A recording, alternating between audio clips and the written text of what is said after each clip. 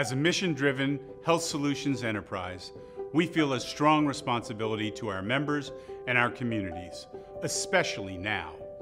That's why we made an initial investment of more than $2 million into our local neighborhoods, from Florida to Tennessee to Pennsylvania.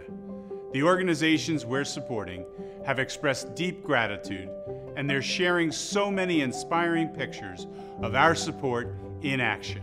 In South Florida, our contributions to United Way of Broward, Palm Beach, and Miami-Dade are helping volunteers distribute food to families during this challenging time. We're supporting Feeding Tampa Bay and United Way Suncoast in their efforts to feed people in the Tampa community.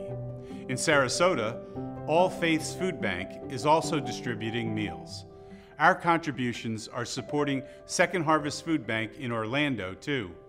And I told you a few weeks ago that we're making a difference in Jacksonville by partnering with Feeding Northeast Florida to prepare healthy meals and deliver them to area seniors. In Pennsylvania, home to many of our GuideWell Source teammates, we're assisting the Central Pennsylvania Food Bank to support seniors and children there. In Nashville, where PopHealthCare and OnLife are located, our support is helping the United Way of Greater Nashville COVID-19 Response Fund. This fund is providing support for things like food security, mental health, and child care.